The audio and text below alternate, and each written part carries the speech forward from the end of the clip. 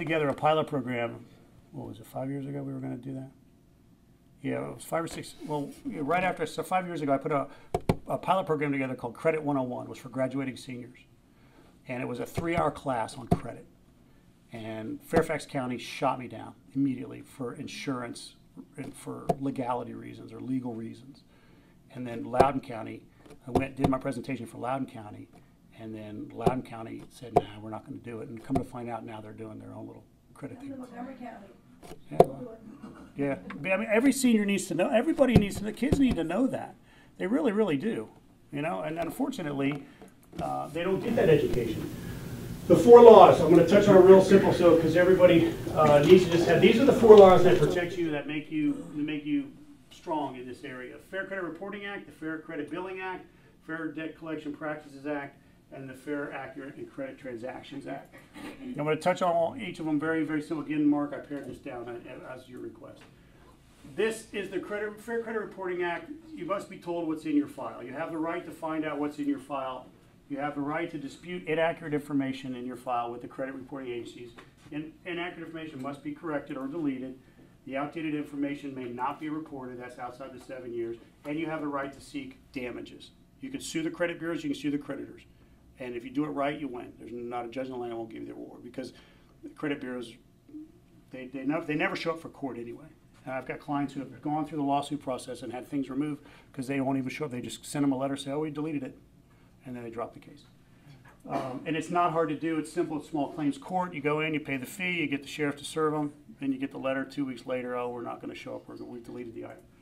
Fair Credit uh, Billing Act. This one, 60 days. If you have a billing error, you have 60 days to be given written notice. Uh, the creditor must respond within 30 days to resolve the billing issue within two billing cycles.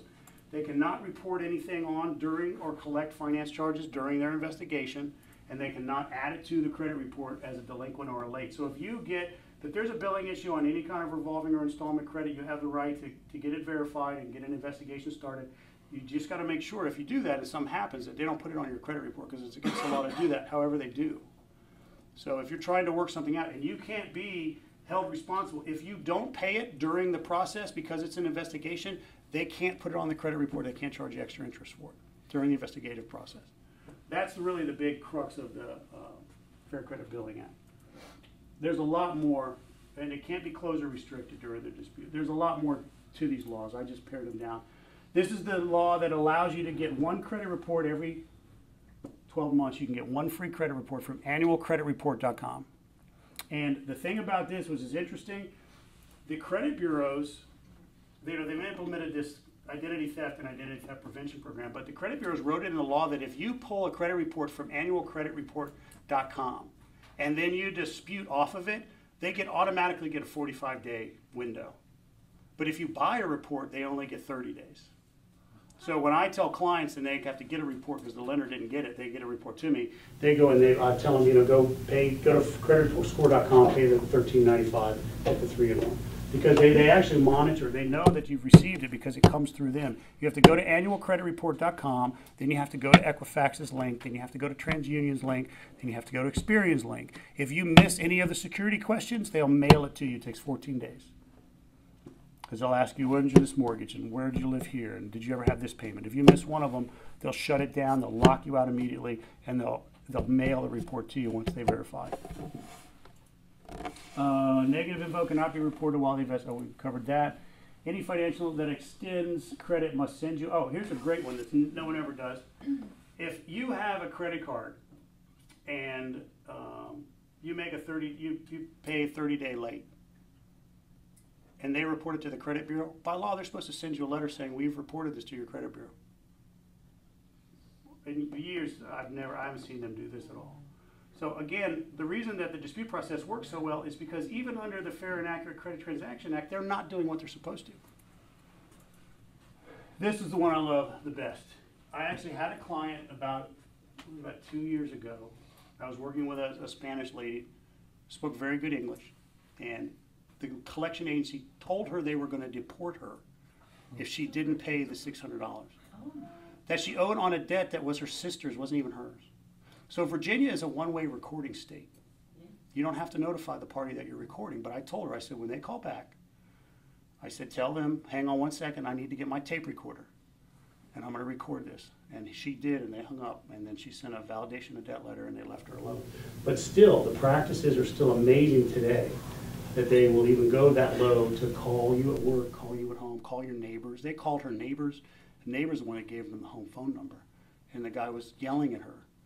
So, they can't call you between eight and nine o'clock. Debt collectors cannot contact you at work if they know your employer disapproves. So they can call you at work, but if you say my employer doesn't allow personal calls, they can't call you again.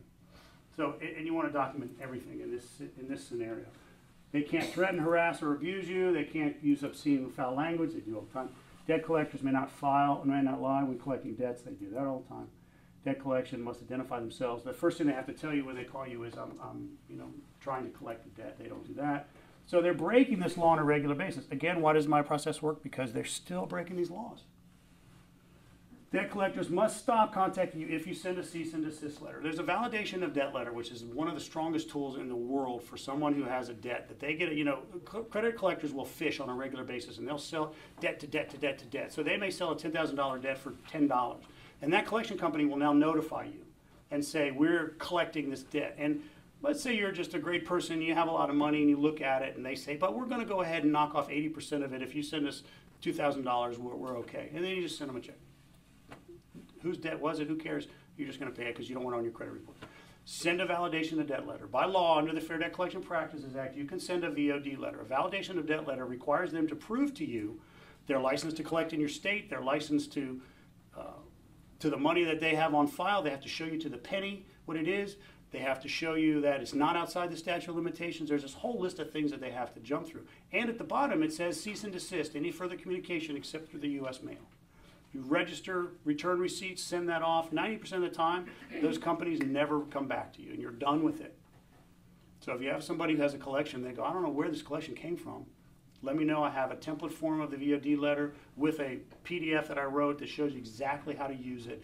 I'm happy to send it to you. Items you can dispute. There is not an item on the credit report you can't dispute by law. You're allowed to dispute anything and everything. I will tell you this, it's easier to get a bankruptcy removed than it is to get a student loan that's defaulted moved, removed. I don't understand it. Student loans are the easiest thing in the world to pay. They will elongate them and defer them forever. But the, but once you default on a student loan, the government never gives up. I get them off sometimes, but most of the time I have better luck with bankruptcies than with student loans that have gone into default. Because they do everything they do to get the student loan paid back. They'll, they'll do everything for you. So, um, you have the right to challenge the, we're almost done, you have the right to challenge the act, the inaccurate information. You have the right to pursue investigation for any negative items, and you have the right to have the creditors remove it within thirty days if they can't prove that it's accurate. You also have the right to sue them, which is huge, that came out not too long ago. Um, you can sue the credit bureau, you can sue the creditors. It's 1,500 to twenty-five hundred dollars per count for violation of your civil rights under sixteen eleven A of the Fair Credit Reporting Act. So all you gotta do is follow the process, do the letters the way you're supposed to do them, and you will have results. Myths about the credit aid agency. Credit bureaus are empowered with a government author, governmental authority. They're not. They're separate entities. We covered that. The information on your credit report cannot be changed. Some people will tell you it can't, but it can. It does all the time. Types of credit information are impossible to remove. They're not. I've removed thousands. Anything and everything you can imagine. State, federal tax liens. Those state and federal tax liens come off fairly easy because the state never responds and feds don't ever respond. So if you've got tax liens that are sitting out there, especially ones that are paid, those come off. Paying off delinquent debt, like a charge-off or a collection, will stop hurting my credit when it's shown as paid. It will help the positive points a little bit if it's an open account and it becomes a paid account. It'll help you tremendously from a lending standpoint because they can't come back and get that debt. You can negotiate this to be removed from the credit report before you pay it. If a creditor comes to you and you want to get this thing off of the credit report and you agree to pay the delinquent account, you got to ask the question, I want it deleted. No, we can't do it. Okay, fine. They'll call you back. Okay, I want it deleted. No, we can't do it. Play hardball. The third or fourth time, they'll come around and go, okay, we'll, we'll do it. Okay, great. Send me a letter saying you'll delete it. I'll pay it. If you don't ask, you won't get it off, but it does come off on a regular basis. You just have to be tenacious about, about getting them to do it. They will. Request uh, inquiries don't hurt your score. Yes, they do. We've talked about that. It's illegal to have truthful information removed. No, it's not. If they can't prove the accuracy, and you know it's your debt, it doesn't matter. They couldn't prove the accuracy, they have to remove it by law. There's nothing illegal about that. Your credit score has not changed since you last checked it. Yes, it has. It changes every minute. Credit score is always going up and down. So if you have a great credit score today, you may have a better one tomorrow, you may have a back down the other day. It's always liquid. Negative items must remain seven years. No, we covered that. They don't. They can come off at any time if they're challenged. Using a credit restoration company is against the law. Here's the way it works in the, in the way it's written in the Fair Credit Reporting Act. If the credit bureau feels that you are utilizing a third party to assist you in credit repair, by law, they don't have to respond to you.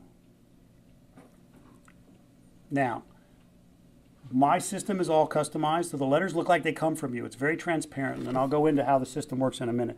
But the letters are written for you. They come from your address. They come with your signature. They come with your ID. They come back to you. So there's no indication that you're using anyone. You're doing it on your own. Again, I built in the refund policy because I don't want, you know, I, I've, I'm not going to burn a client or a realtor or a lender for $395.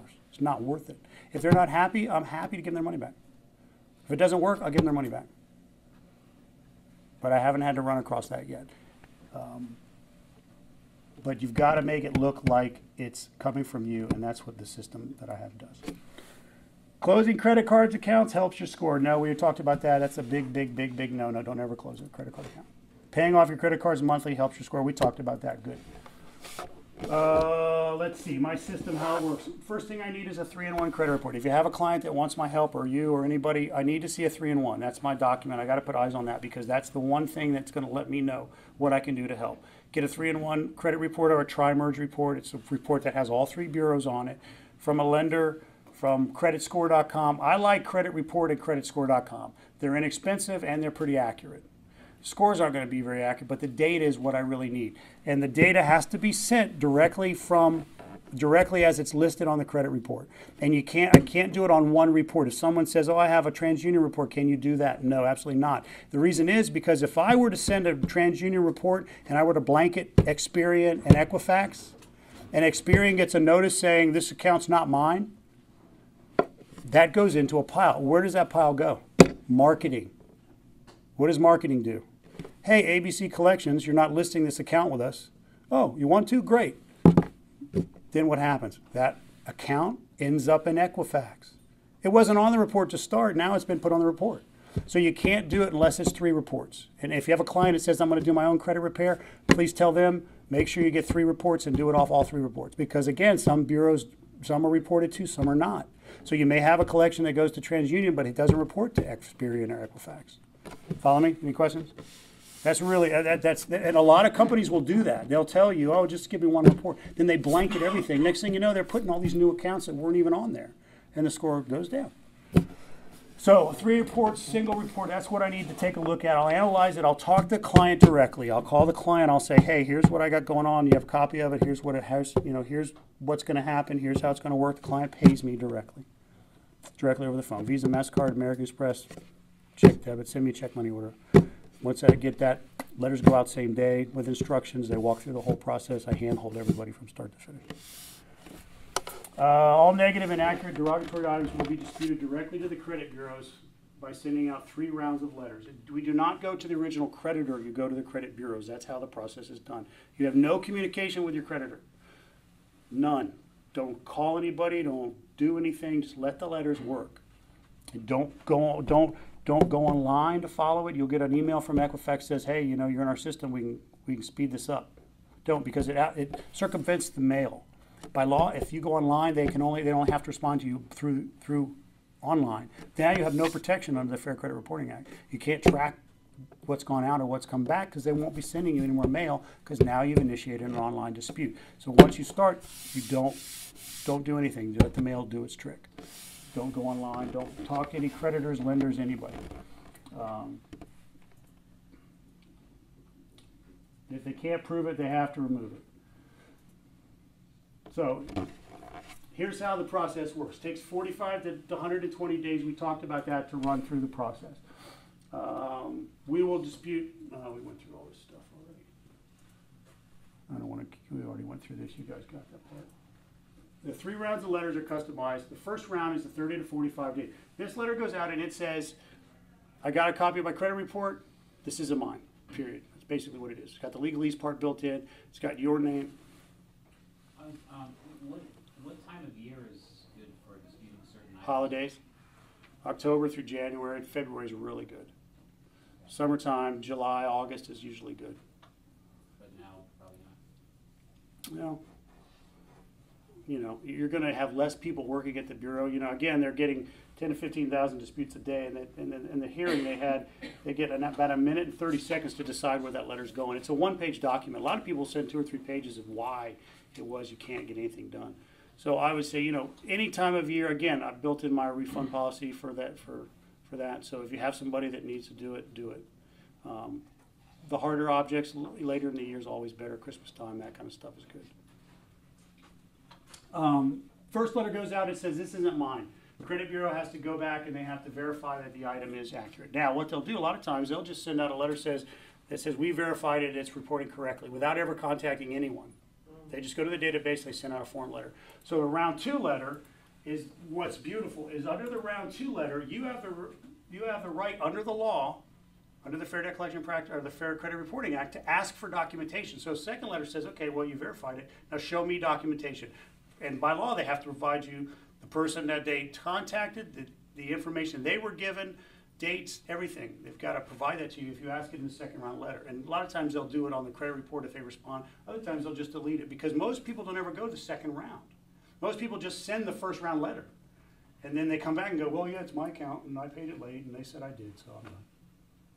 No, if you send this, they've by law, now they've got to go to the second round. They've got to provide this information to you. If they don't, which they don't, this is where your lawsuit starts. Third round letter comes back and says, oh, well, we verified it. We're not doing it. This is a frivolous attempt to remove an item that's on your credit report. We're not doing anything else. Great. Send the third round letter, certified mail, return receipt with the other two letters in it. They come back and say, oh, we already previously verified it, we're not doing it. Fine, go to court, lock them up, they'll take it off. Pretty easy, actually. FTC, When, when you say you go to court, he's talking small claims court, it's not like you have to hire uh, a huge attorney. it's about hundred twenty-five dollars Yeah, expense. it's not, it's not like. If you really want to go that route. The, what, what, I tell you what works for me and what's been working for the last, last six years, is I, I will send this round three letter out four or five times, the same letter. And, and there, there is a point where you get in this process where you will, you'll stop. You send the first round letter, you get a few things removed. You send the second round letter, you get a few more things removed. You send the third round letter, you get one or two or three things removed. So I'll tell my client, if you're not in a window to get a house, or you're not in your time frame's not coming up a butt against you, let's resend this letter. It's the same letter with the other two things. Now one or two other things gets removed. And we'll keep sending it. And this letter will finally come back with no removals. And then I'll send one additional letter. And if it's no removals, the process is over. If the client wants to go to court, and let's say that, that this is legit, let's say this is a tax lien that was not yours, and the credit bureau comes back and says, this is yours, and they come back and say, this is yours, and you go to court and you file it, and you can go to the judge and say, your honor, here's my certified mail, this is my first request, they said it was mine, it's not, here's my second request, here's my third request, here's the documentation, this is me, this is my social, this is not, they haven't proved they're in violation of my civil rights, and I'm in financial distress. There's not a judge in the land that would give an award. I mean, I've had clients that have done it. And I've had a client who, who, who took Equifax to court, and Equifax, it was two days later, they sent a certified letter saying, we're, you know, we're removing it completely. All three things he, he filed for, like that. Say they don't wanna go to court, because they didn't do what they're supposed to. Yes, sir? I was gonna say, the the client who, uh, took to court and took the collection company to court, because the credit bureau will send an attorney, but no credit, no collection agency ever, they, they removed it right away. Yeah, I haven't had a client that had any, has anybody showed up yet. I've only, I've had seven clients that have done it, and I've had two clients that actually ended up in court, and both times, uh, both credit bureaus were were representing. And the judge, and the thing was, the judge gave him an award for, for one, for two of them, for five thousand, the other one for twenty-five hundred, so he got a judgment against the two, the credit bureau. So he was, he said to the judge, he said, Judge, where do I put this on the credit bureau's credit report? The judge said, I'm gonna use that next time. So here are some results, and I apologize, I have a huge file, and um, I rolled out of the house early. Uh, I live up in, actually up in Delaware, and I came home and I left the file, because I was gonna let you see it firsthand. But, you know, these are some of the things that, that I did for a client. I mean, you- look at the civil judgments, again, they ca- couldn't prove them, so they just deleted them. Midland Credit Collection Management Company, one of the worst. I mean, these were, this was the, this was the first round letter. She loved me. Of course, she bought her house. You know, my, I- it's a two-edged sword with what I do because I help people get out of debt, but then I get them right back, or I help them get their credit scores up, get them right back in debt. Uh, let's see, what's this one?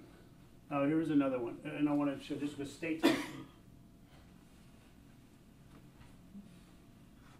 And this is what you get a lot of times. They, they'll send out a form letter, and then you send the second letter, and they'll go, oh, it's no longer on file. They didn't delete it, they just say, yeah, and they, and the, and the reason they do this is because, oh, it was, we, we overlooked it. But now after we reviewed it, we see it's no longer there. Instead of saying they deleted it, they'll say it's just no longer on file. So, so it's actually deleted. It is from the deleted, but to protect they're them, they'll just say it's no longer on that the it's file. no longer on file. Exactly. Okay. Sweet. So I, I blew through, uh, not too bad. Yes, I have a young client, she's young, she's just starting. And she got herself into a little trouble because of a living with situation where both were on the lease,